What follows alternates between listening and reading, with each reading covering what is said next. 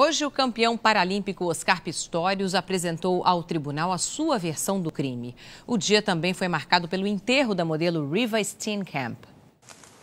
Em uma cerimônia reservada a parentes e amigos, o corpo de Riva Steenkamp foi cremado hoje em Port Elizabeth.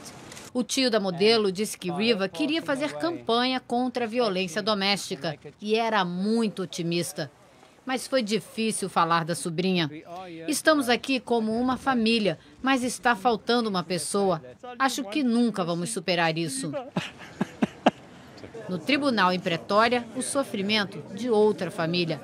Parentes de Pistórios acompanharam a audiência do atleta na justiça.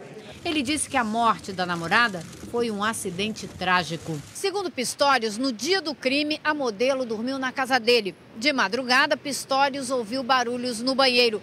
Pegou a arma que estava sempre à mão e atirou contra a porta do banheiro. Só então se deu conta de que Riva não estava no quarto e percebeu o grave erro.